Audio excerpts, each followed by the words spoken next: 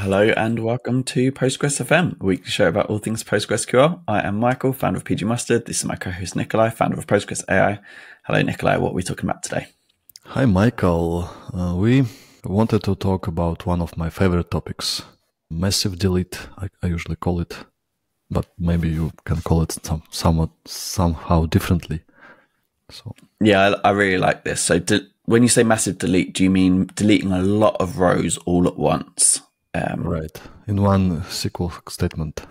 So, for example, 10 million rows, 1 billion row, or just 1 million. It's good already. Good enough to feel how bad this is for Postgres. So we can discuss in detail what's happening if you do it. I like this type of thing because it's not only bad, it's also good and we can explore that as well because uh, if you do it on production it's bad. But if you do it on purpose in some testing environment it can be very helpful. Oh i see what you mean. So it's a useful tool for certain things. Right. okay cool. Yeah I, I get it. Stress test or, yeah. So you, you mentioned this in a previous episode uh, that it would be good to cover this in more detail and i was really interested. But I think it's important to say what we're not going to cover as well. So massive deletes. Some people might also be thinking of like some other it, things that sound like deletes. Like some people often implement soft deletes, which uh, would be like implemented via updates. We're not going to talk about that kind of thing. Right. We're talking about only actual Postgres deletes at this point. And some people complain why soft deletes are not uh, already implemented by default uh, in database system like natively. By by there, maybe it's a good idea to to have, but, yeah, we will skip this topic. Soft delete, yeah. maybe it's another episode because it mm-hmm. has interesting nuances. Yeah, but let's let's talk about uh, what's happening if you want to delete many many rows. Uh, how to do it correctly on production, not to put your database on knees, and uh, how to use it in non-production environments for something good, for good reasons right? I like it. Do you want to start? Maybe with some use cases, like what, when are you generally seeing people do these like huge deletes? Um, I've got oh. a few examples I've seen, but I'd be interested in yours. Well, usually people do massive delete by mistake, not understanding how Postgres works. Sure. And MVCC and so on, and they expect it's simple operation. They probably saw some warning that you shouldn't expect immediate uh, reduction of uh, disk space used. For example, you delete from some table and think, okay, I will free some space. No, you won't free some space because it's only part of the work. Another part is auto, auto vacuum, which will need to ac- actually delete that tuples. But uh, oh. yeah, what? And even then, you're not, you won't see, and if you're monitoring disk space, you won't see that as free space uh, again so it depends. So it, de- it depends. Uh, AutoVacuum also can truncate relation if okay, uh, sure. if uh, some page in the end is deleted. All all tuples are deleted and vacuumed, so physically deleted already, right? Uh, page becomes free, it will truncate it and it will reclaim disk space. Yeah, okay. But I feel like those cases are, are the exception rather than the norm. I, I see a lot more cases where people mm. are deleting a subset of data from a non-partition table and really surprised when they when their relation right. doesn't decrease in size. But just to cover like a few of the other basics, I, I think this is actually a topic that's coming up more and more because we have these like new privacy laws that require people to be able to like to have the right to be forgotten and deleting data is is quite a safe way of not having a data leak. Like if, the less data you have, the less data that can be leaked security wise. So there's the, I feel like there's these forcing functions. I think also people are starting to get serious about having data retention policies. So how long should we keep each type of data around for? So I think there are some of these use cases that mean this is coming up more.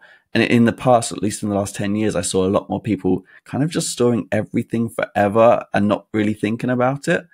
So I, I didn't know if this is something you're seeing more often or it's just a, an age old problem.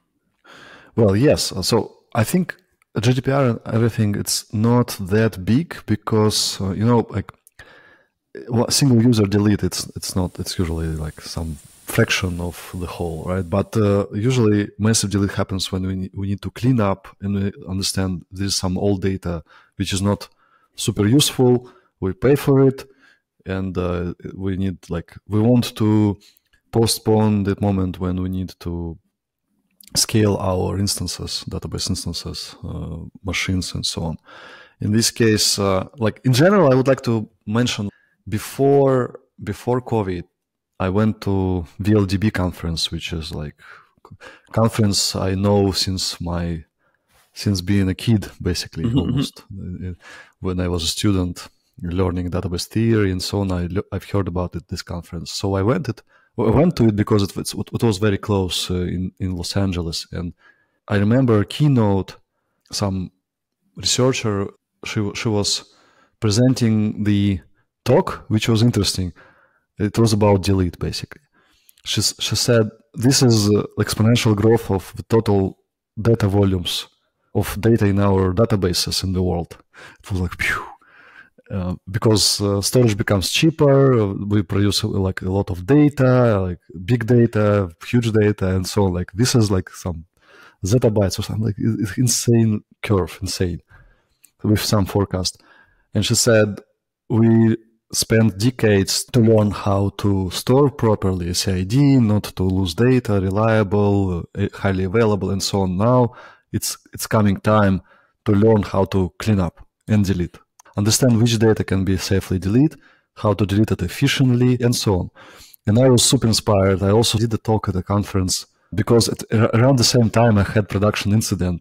Very a senior engineer, backend engineer, with good understanding of analytical databases actually got a task to delete some old data preparing for some marketing campaign because like forecast was saying we either need to invest a lot to upgrades or we need to clean up before we do this huge marketing campaign so he went to the production and just performed delete from table where created at older than one year he estimated in advance that it will be 10 million rows.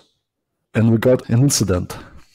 Downtime, more than 10 minutes, costed company a lot of money. I was like, I was super impressed, a lot of money. And he almost left the company himself because he was super embarrassed. And and this was like at the same time uh, this VLDB conference about delete and this like I, am saying like we need something right we need uh, at least we need to educate people that delete should be split to batches. Of course, uh, if you have good disk, maybe you'll be fine. But in that case, we had quite slow. It was, it was some uh, enterprise level, but some Sun, I think, uh, some some uh, old system. It was on premise, and also at the same time, I was advocating this company. Like I, I was, I was helping them as consultant with Postgres. Company was growing super fast huge startup. And I was uh, saying, guys, you do need to increase max_wal_size. One gigabyte is not enough. So with default setting max_wal_size, untuned checkpointer, and quite slow storage, I think uh, maximum throughput for writes was maybe 600 megabytes per second, maybe 500.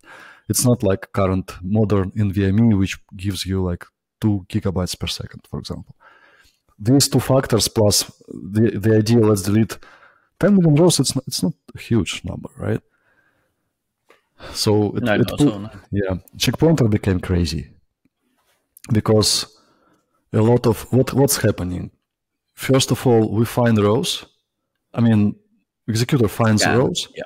Mm-hmm. in that case it was also unfortunate that it was not sequential pattern so what like rows were ordered by according to created at. So they, they start sparsely, and first you need to put Postgres needs to put xmax value to this hidden system column. It needs to put current transaction, which deletes, right? Mm-hmm. Uh, value to xmax column for first row, and the page becomes dirty. Right? Dirty means in memory we have different page than on disk. So we have some. We need to flush it to disk eventually. Uh, it, checkpointer needs to do it, yeah. uh basically, right? And then different row was different tuple, basically physical row, right? Version of row in different page. So we a different page. So almost like if you have if you need uh, to update xmax in 100 rows it's like almost 100 pages already dirtied very inefficiently already because of this pattern of random random access basically it's not random but it's not sequential this is this is the key right and then checkpointer sees okay i'm i have max max_wal_size one gigabyte and it was postgres i think 99596 at mm-hmm. that time, it means that real distance between two checkpoints was three times lower. Oh, only yeah. 300 megabytes. You can read uh, in Egor Rogov's book, Postgres Internals, very good explanation mentioning uh, the improvements and like why it's not really even max_wal_size, but, but three times small, smaller. Now I think it's either two times smaller or something. I already don't remember. So it means that checkpointer comes and says, okay, it's time already. We, we already accumulated too many buffers dirty. We need to put like to flush them to page cache first of all, and then pdflush pro like something something like pdflush will will go and flush them to disk. So it starts working, producing a lot of IO, and it, it converts to real disk IO already. And then, boom, different row happens to this uh, to be in the same page which just flushed. It was just flushed. It, it already clean, but we update it again. I mean, we update different tuple in the same page, it becomes dirty again, right? And checkpointer says, okay, again, a lot of work. So it's duplicate, uh, duplicating effort by flushing too excessively. Yeah. Is that what? Yeah. Yeah, yeah. So checkpointer distance between checkpoints was like I remember now, like was like twenty seconds only. Yeah, Also, I learned that uh, it's like if I'm not if I'm not mistaken, I think many years already passed. Checkpoints can overlap sometimes oh, no, for a couple of seconds. Like it's still happening, but it's already time to. It's insane. So checkpointer produced a lot of I/O, and this couldn't handle this I/O, and database became unre- unresponsive, uh, and we had critical incident, like basically uh, downtime failovers and so. Like it's insane. Everything be- became insane, and downtime was huge, and that's not good, right? But as I remember, there are two effects. Not only you uh, need to flush the same page multiple times if you have this non-sequential uh, pattern, access pattern, but also once checkpoint, checkpointer or anything else made the page clean, we have different effect. Uh, Full, full page images. Yes, yes. So full page mm-hmm. images, full page writes. So since full page writes is on, it means that after checkpoint, if we visit with our change, our delete this page again, it goes in full to the WAL, right? Whereas if it was in a previous, if it, if it had managed to sneak into the previous before the check, the, the next checkpoint, it would have been a much smaller amount of work. Yeah, yeah. If we had, for example, huge uh, a max_wal_size like 100 gigabytes, mm-hmm. we have enough disk space. We can afford it. We understand if we crash, startup time will be longer. Replica provisioning also takes longer because, like, to reach recovery po- point takes time, minutes. Yeah. And then in this case, we understand. And then in this case, even if we have random, not random, almost like not sequential access pattern, we visit the same page multiple times, not sequentially. And not only checkpointer will flush it just once instead of multiple times, but also only the first change will go uh, to the WAL as a full page, but mm-hmm. subsequent changes will be just presented as a tuple. Mm-hmm. And this right. it, it, means WAL volume generation decreases significantly if if yeah. you do this. So it was helpful to me as a, as a consultant because I finally found uh, agreement that we need uh, checkpoint tuning. I, it was a, begin, beginning of my practice in the US, so it was hard to me to find good arguments. But uh, like this case showed, okay, I just did very good uh, series of experiments. I, you know, I'm a big fan of experiments. So if you just start experimenting with max_wal_size and run deletes each time. You just do this one gigabyte. This is the IO for this massive delete, like two gigabytes, four gigabytes, you know, logarithmic approach. Mm-hmm. You reach 64, for example, or 128 gigabytes, and you can draw a good curve, right? Look how IO, and usually IO, if you also have monitoring, if this delete takes like a minute two minutes, five minutes, you can see monitoring that you have plateau for IO because it's saturated. Mean, are you taking the total IO? So let's say you're take, you're doing the same delete each time, and you're looking at total IO across the time and showing that there's less IO as as we increase the. I just yeah, I just well, uh, I did several things in this experiment, and I think mm-hmm. it's worth maybe a good how-to article or or something. Actually, it was two phases, two two parts of the whole experiment. First is, to study this uh, IO behavior and checkpointer behavior.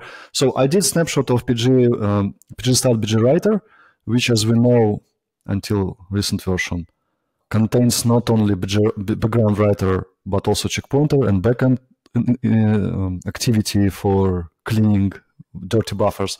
So I converted as usual. I converted buffers to gigabytes because this is how any engineer can start understanding what's happening. Yeah. If you say buffers, uh, nobody understands except DBAs, right? If you convert, if you multi, if, if you multiply it by eight gigabytes, you have gigabytes, megabytes. You, everyone starts understanding. So I just showed that with default setting, checkpointer had a lot of I/O and also pg_stat_wal. M- much more WAL was generated. But I also mm-hmm. made screenshots of monitoring showing that we had plateau saturating disk I/O, disk disk write I/O. But when we had already like 16 gigabytes, 32 gigabytes, we already see like like spiky pattern uh, up and down, and this is good. It means because we have batches. Why? Yeah. Why is it spiky? Yeah, some batching, something like uh, yeah. Checkpointer. It's also like it's all of course checkpoint completion target. It's like close to one, so it should be spread. But it's like this is batching there, obviously. Got it. And this is good. We're not saturated. Plateau is bad, right? So actually, it's a good point that this helps. This optimizer, like tuning the checkpointer, is helping with massive deletes, regardless of whether we batch or not. It's helping in the case where we don't batch, and it's helping in the case where we do batch. Is that right? right? Well, right now I'm talking only about how we would tuning, how tuning would prevent this incident.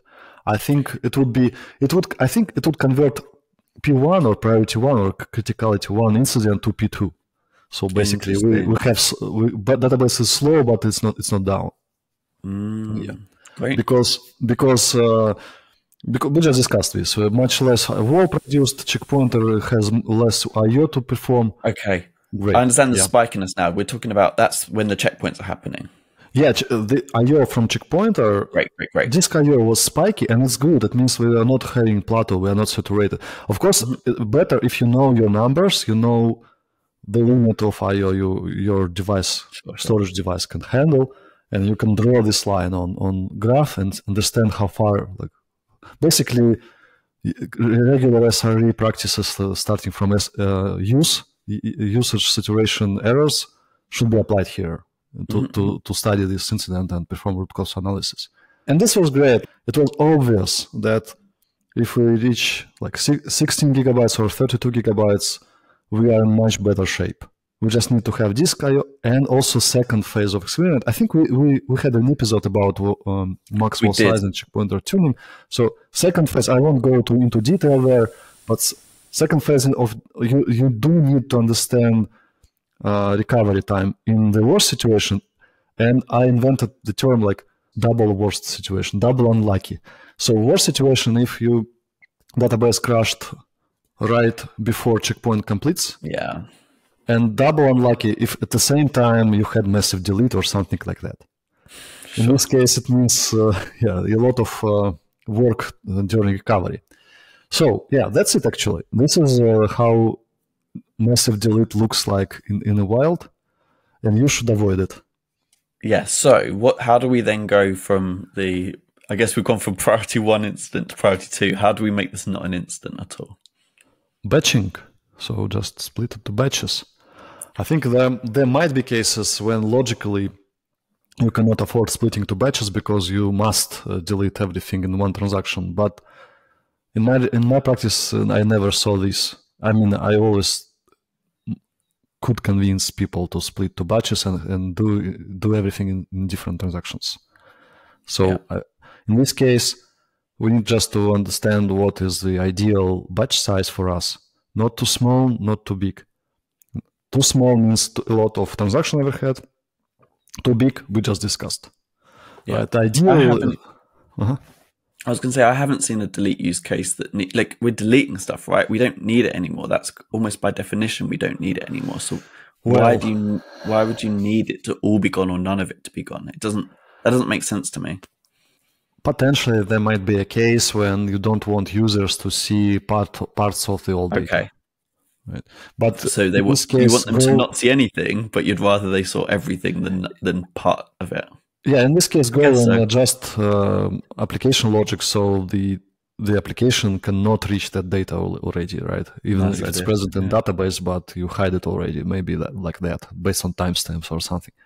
So, but again, this is just a theoretical discussion. I, in practice, I didn't see any cases when we couldn't, like the benefits for Postgres with its MVCC model, benefits from batch deletes always much higher than like experiencing this pain and risks. So yeah, batches, and we know the ideal size of batches. We discussed it many, many times, starting from the, the very first episode we had almost two years ago. So and very my, recently in the "Don't Do yeah, This" episode, right? Yeah, yeah, yeah, yeah. So ideal, my recipe is just try to be below one second, but maybe not below 100 milliseconds or 50 so this is ideal size to me based on human perception. Yeah, you mentioned something in the recent episode about it degrading over time. So let's say you, you can you get a clone or, or you, you have a, a, replica of production where you're testing yeah. batch sizes and you get the sweet spot. Maybe you find out that you can delete 5,000 rows in just under a second and you think, let's go with 5,000 as the yeah. batch size. You mentioned one hour later, yeah, yeah. One hour later, you see uh, the same delete already takes one minute. What's happening? Yeah, yeah, yeah. Well, yeah. So I was going to ask uh, not only what's causing it, but how would you like? Do you run the test for longer, or like how do you how do you think about that stuff? Well, you just need to understand that when you delete or update, you produce dead tuples, and it means that only the first part of of two parts uh, of the operation is done it's done synchronously by your SQL query, but there is a second super important part, which is vacuuming. On, so delete is not complete when you when you see transaction committed. It, it, it's complete only logically, but physically we have these dead tuples, basically garbage unless some transactions still needed, right? Mm-hmm, mm-hmm. And you need to understand vacuum. And actually, in the same company to perform delete properly, of course, I split to batches, and then I was big fan like, oh, I want to create a simple query which is basically stateless.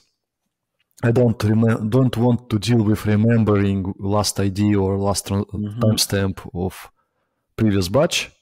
Basically, no window window how to say pagination, no pagination. I don't want to have pagination because they have a similar problem as pagination uh, for selects showing uh, huge result set split to pages to users. Similar problem here, very similar because uh, it's the same basically problem. Mm-hmm. So I wanted to to do, to do something like stateless, and I just relied on Postgres on some index. I checked indexes used, and then already in production, I I, I saw this degradation.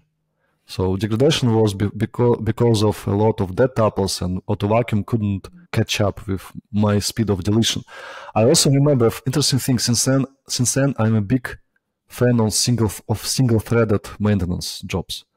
I implemented multiple threads originally, but then I saw that even single thread is too fast for vacuum for auto vacuum, and we don't need uh, parallelization here. Of course, parallelization in my case was based on select for update skip locked, like fancy, super cool. Like yeah. it was maybe like five, six years ago. Like let's do fancy stuff. We will we will have like five workers. Let's go. But you don't need it here. One thread is enough to to to clean up, yeah, because uh, otherwise you need to speed up vacuum somehow. And vacuum for a single table is always single threaded. You cannot have multiple workers cleaning up that tuples from a single physical table. Non-partitioned, if it's partitioned, yeah. or if it's mm-hmm. partitioned, yes, uh, they can work on multiple partitions at the same time. But if it's a single table, no. So, I want to come back to partitioning, but in the meantime, like, so a massive delete also has a big impact on. Like I was thinking about index only scans, not not for the delete, but for other like concurrent reads because let's say we're in a situation where we are deleting a lot of tuples from not necessarily random, but like lots of different pages, the visibility map is going to be well, there's going to be a lot of pages that have changes and therefore can't be true index only scans. So I was thinking for that case, we might actually want to run a vacuum manually every certain number of batches. Yeah, this is what I did, and I also thought maybe oh, I should. Right. Yeah, I did. I did uh, manual not manual. I mean, my script did it. Yeah, Every yeah. n, but after n batches, like hundred thousand batches, vacuum. And how did you determine n? Ooh, good question. Well, experiments. So if you if you have if you want to go stateless, and you know a lot of dead tuples will will be a problem because in index you use on on primary key or on the creation time step created that this index uh, also needs vacuum because it will be pointing to dead tuples, and that's why subsequent batches will be slower, slower. Degradation over time will happen. Mm-hmm. But if you vacuum, this you get rid of these links to the tuples, right? And uh, it becomes good again. So based on that, uh, like observe, observe the, applying rule, we want our transactions to exceed one or two seconds because users might notice some like big bad things and when we have a long transaction we also block uh, we also uh, are some kind of a problem for all AutoVacuum workers globally for our database so if you see oh it degraded to two seconds this is right time to run vacuum right but I eventually chose not to do vacuum. Actually, I, I this is oh. it was. I had many iterations of my solution. Yeah, and finally I gave up and decided to go stateful. So I performed just this key set pagination, just based on last timestamp. I select next batch based on that. It's super fast, even if we had a lot of dead tuples. So mm-hmm, I mm-hmm. I don't care because auto vacuum. Well, auto vacuum is good for skip to skip pages that can skip. It's not like 10 or 15 years ago. It's already quite good. So multiple runs versus just single big run. This, this is a good question, by the way, worth exploring. Is it good to run vacuum quite often in this case versus let's run it just once? In terms of IO it will produce, in terms of how many disk operations in total, we can could, could, this is a good experiment to conduct and compare these numbers. Well, because and I, doesn't it depend a little bit on like I think it depends a bit on your workload, right? If you have no other concurrent users, running one vacuum is likely more efficient than running lots of small ones. But if you have other concurrent users and you're forcing heap fetches, then maybe your IO impact yeah. from those reads it like outweighs the duplicate yeah. effort on vacuum. Yeah. Or even even when I say duplicate effort on vacuum, I guess we're talking about the same kind of a similar here if we see that we want to run single vacuum not frequently, we will leave with a lot of buffers which uh, are out of visibility map. So yeah, yeah, and index only scans will degrade. But this mm-hmm. you add you add complexity here. Like I know, start, I. Uh, like in, in my in my case, I don't care about other users for now. I like this approach. First, you study the problem alone, and then you start adding what you did like oh we have other users let's already understanding the problem like in vacuum so to speak in, in like I know single user mode basically right yeah. then you start adding considerations so what about other users if you know how postgres behaves how your workload behaves for single user situation it's already better you are much much more confident when yeah. you start looking at others as well. Yeah, it's, it's a good point. We, if we don't, if we rely on index-only scans a lot, probably we should vacuum frequently to avoid heap fetches. You saw it in in your plans at, at pgMustard quite a lot, right? Yeah, it's quite a common one. It's not. It's. I mean, it's not. It's not the biggest issue, but it is numbers, like. Right? especially range scans where people are doing like returning a lot of rows or doing aggregates that rely on index mm. only mm. scans the, on these kind of you know like hybrid workloads set kind of am- analytical queries they can degrade quite quickly in certain environments if you go from an index only scan across a few thousand pages to an index only scan with a few thousand heap fetches yeah so your deletes can be a problem for these so selects might, might, might degrade because, because visibility map is outdated. Exactly. So yeah, more frequent vacuums might be good. It's interesting discussion, interesting point as well. But in my case, I, I liked the like when I gave up my idea to be stateless. I relaxed so much. Like I just remember this value, sure. and remember I just it's I, I degraded also to single threaded approach, forgetting about this uh, select for update skip locked. Mm-hmm. And uh, so, so I just need one value always to remember. So easy. And then performance became very predictable, reliable, stable. So yeah. all batches were, were the same size and latencies were the same. It was like I could. Pre- also interesting when you do it, you start thinking, "Oh, I want progress bar basically. I, I want to predict uh, ETA, how much time yeah. left, and if it's if it's degrading or not like not stable this latency of each delete you you cannot predict reliably but uh, once yeah. you perform key set pagination here you know your batch like it takes like 300 milliseconds each each batch great you, you, I, I integrated it into my SQL uh, this progress bar. It, it report, reported percentage and uh, how much left and uh, ETA.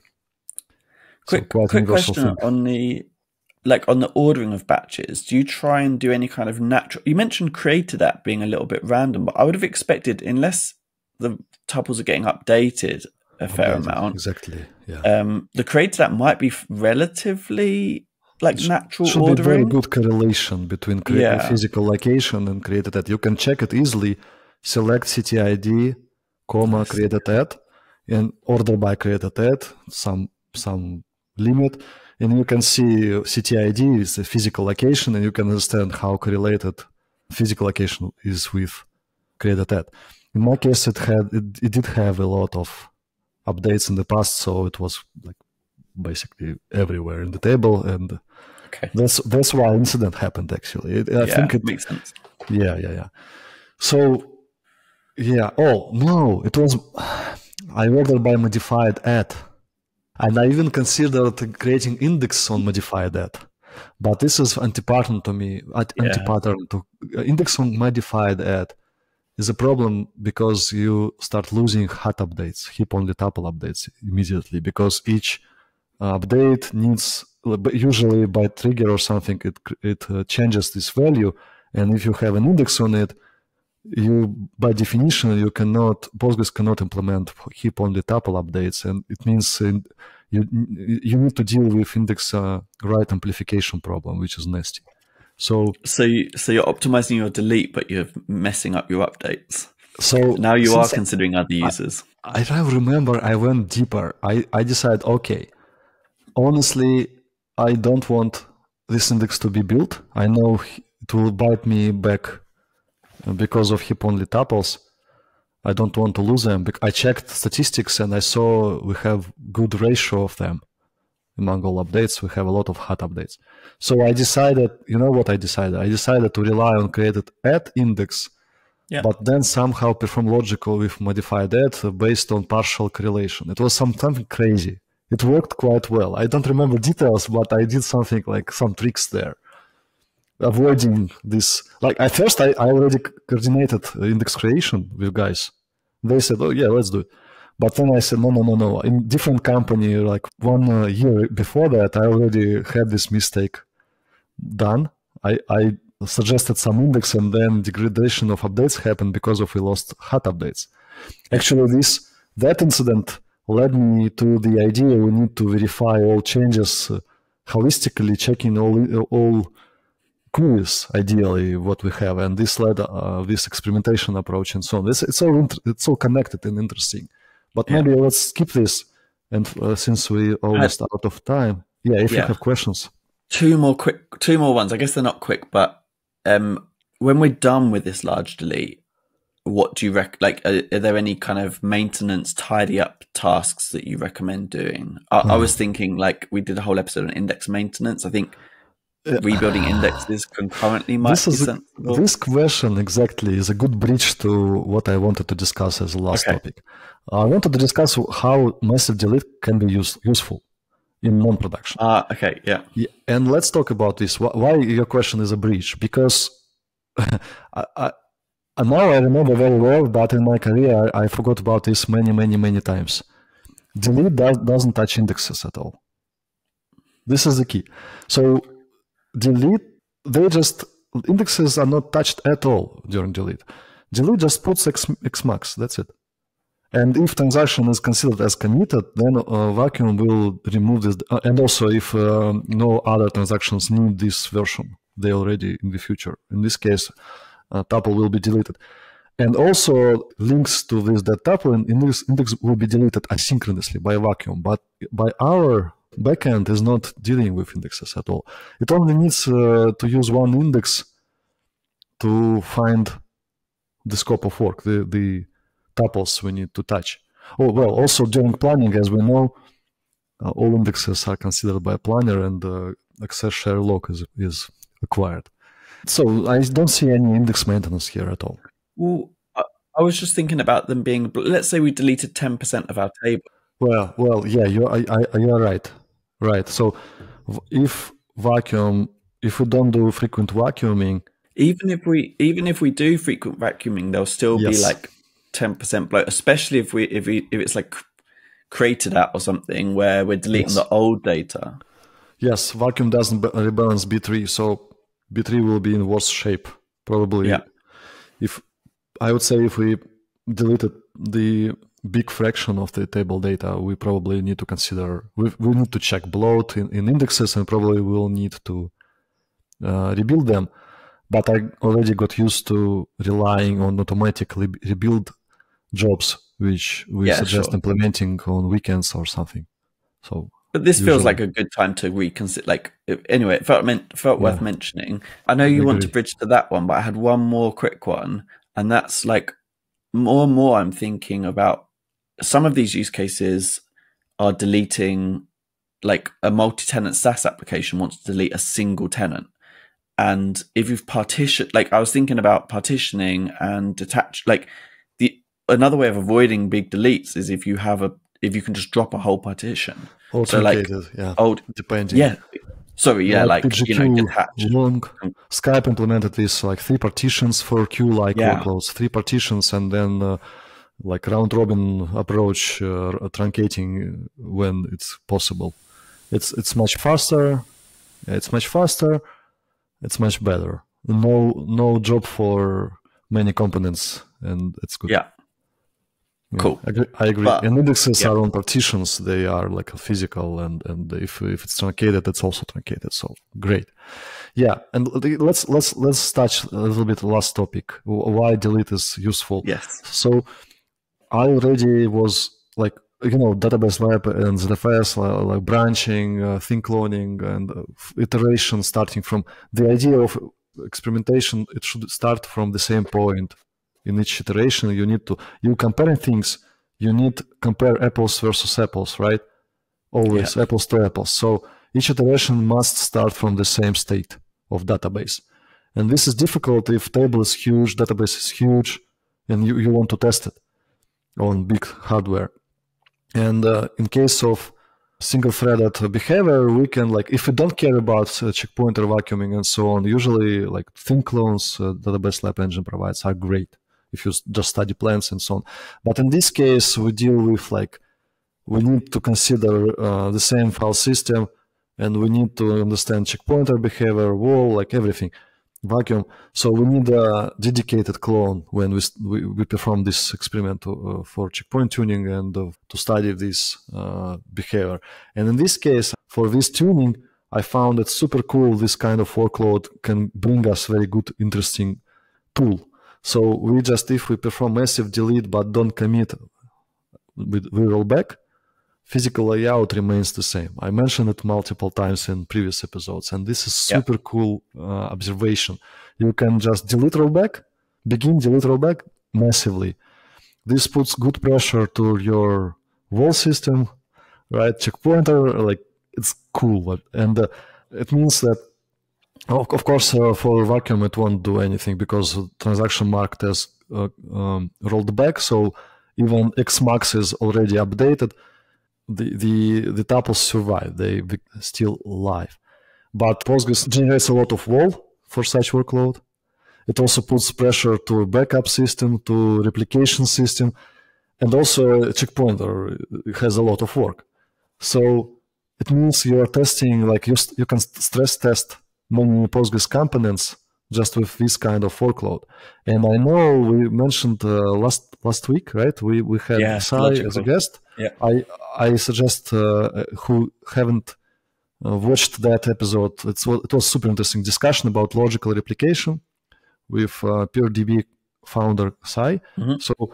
And I mentioned that this is exactly how I found that we can easily reach and saturate single core on uh, WAL sender. Yep. center. So you just delete rows, rollback, delete million rows, roll, it spams WAL and WAL sender hitting 100% of single vCPU and uh, is becoming bottleneck quite quickly. Fortunately, on production, as I mentioned, we don't observe, I, I couldn't find such situation, but in non-production, it's easy to reproduce. So I, I found this very handy tool to, to stress test Postgres and, and for checkpointer tuning and so on. That's yeah. why message delete not only bad but also good. But only being rolled back. Yeah, yeah. Isn't it isn't funny and like exciting that physical layout doesn't change of table? You delete well, it, rollback, it, but it's the same. This is one of those things where, like, if you talk to Oracle guys, you'll get them sweating by this point because of different uh, a different implementation. Because right. it's it's only because of Postgres' specific MVCC implementation because yeah, because in Oracle they have the undo log. Right. It it it's like the opposite trade off. So it's right. it's so interesting that the implementation details are so. It's good to know them in order to work out how to test things. Yeah, Postgres is uh, ex- expecting you to perform rollbacks often. So yeah, it's, it's good to make use of it when when it's adv- advantageous.